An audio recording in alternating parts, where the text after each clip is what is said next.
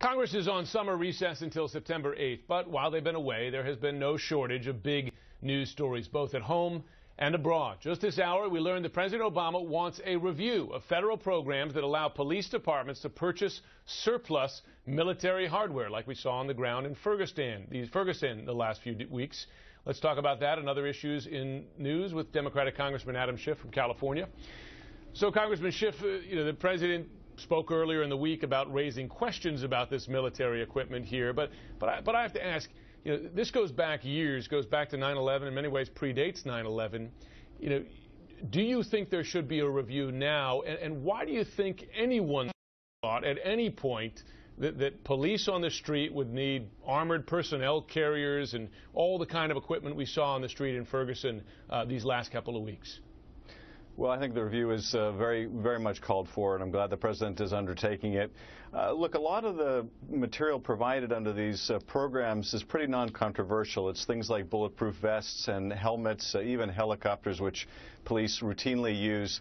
Uh, but you're right, there are other equipment that have been uh, acquired under this program, large mine-resistant vehicles, where it's very hard to justify. I mean, there may be a district or two uh, along the border that's heavily involved in drug violence where they can justify something like this, but in most of the country, it's very hard to see how that would be useful.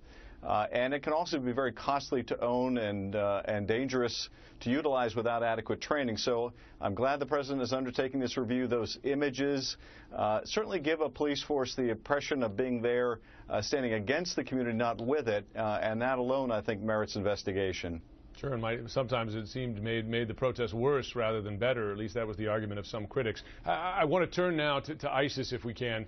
Uh, is it your view that the U.S., that the administration has a strategy to block the advance, or in fact push back the advance of ISIS in Iraq and Syria, or are you seeing more a reactive policy here? Because remember, it was just a few weeks ago there, there, were no military strikes in Iraq. Now there are military strikes in Iraq uh, and consideration of military strikes in Syria. Well, I think there's a strategy that's emerging. It's not static because uh, ISIS hasn't been static. Uh, but I think right now what the administration is really pushing for is to contain ISIS in Iraq by providing military equipment, training, intelligence, uh, aerial support. Uh, as well as forming an international coalition to put pressure on I ISIS in Syria. Turkey to close their border, border to these foreign jihadis, to get the Qataris and the Kuwaitis and the Saudis to dry up external funding, uh, to get uh, our European partners to provide more in terms of uh, humanitarian support and military support, for example, for the Kurds. So I think there is a strategy, uh, but, but as I say, as the threat is evolving, that strategy has to evolve with it. Well, you're on the House Intelligence Committee, a senior member. Uh, you've been getting briefings on the, the, the, threat from ISIS. I've been hearing from intel officials for months about the threat, not just to the region, but also to, to Europe and to the American homeland because of the possibility of returning foreign fighters there. I mean, that threat's been out there for months. It's, it's not new. Is it your view that the U.S. underestimated the rise of ISIS and, and waited too late uh, in reacting only in recent weeks rather than months ago? I think the rapid spread of ISIS did take us by surprise. Uh, certainly we knew that uh, ISIS was growing in power, uh, but the fact that the Iraqi military would melt away the way it did and that ISIS would uh, be able to co-opt the tribes as quickly as it did, I think was somewhat of a surprise. Uh, and uh, and we're going to have to deal with it. Uh, it means that uh, we're going to have to put far greater military pressure on ISIS uh, and devote a, a, lot more of our time in the years to come uh, into trying to keep our eye on these foreign fighters who are in the fight now and will come back to Europe, will try to come back to the United States, and pose a real threat to our homeland. so yes, I think some of the speed with which it took over surprised us. The fact that it was a growing menace, we knew. Uh, but uh, uh, some of these things, like the degree to which the Iraqi military melted away, uh, I think were beyond our, our capability to foresee. Russian cargo trucks apparently have returned to Russia after entering eastern Ukraine without the government's permission. That is according to international observers in Ukraine. The trucks supposedly brought humanitarian aid to eastern Ukraine, where an estimated 2,000 people have died in the fighting since April. Ukraine, however, complained that some of the trucks actually brought weapons to pro-Russian rebels battling the Ukrainian government for dominance in the region.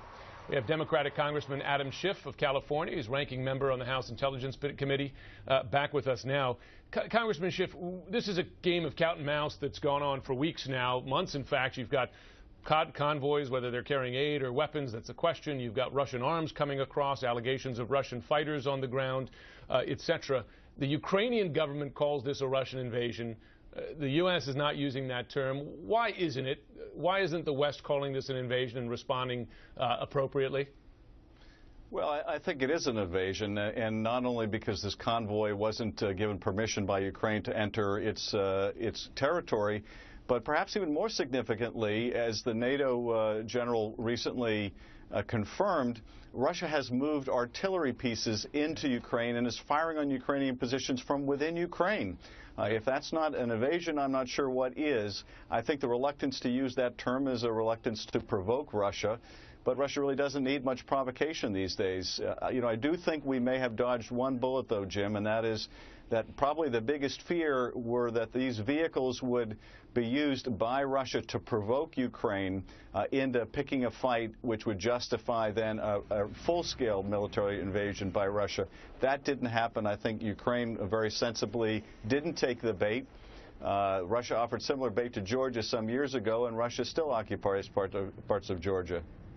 So, so looking at this now, do you believe that the administration's policy, the U.S. administration's policy of gradually rapiding, ra ratcheting up the economic costs with each escalation on the part of Russia, do you think that is effective deterring Putin?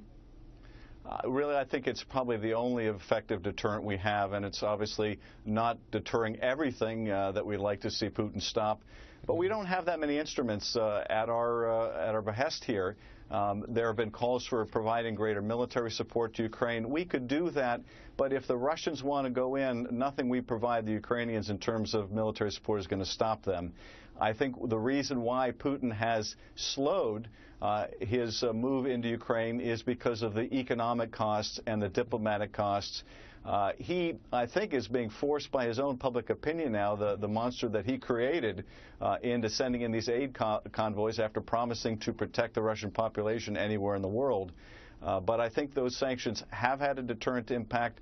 And frankly, I'd like to see Europe and the United States go further now that we have these additional violations with the convoy and with these, uh, these artillery units firing from within Ukrainian territory on the Ukraine itself. Okay, the congressman wants to see Europe and the U.S. move further. That's a question we'll be watching in, in, the coming days and weeks. Thanks very much, as always, to Congressman Adam Schiff from California. He's on the House Intelligence Committee.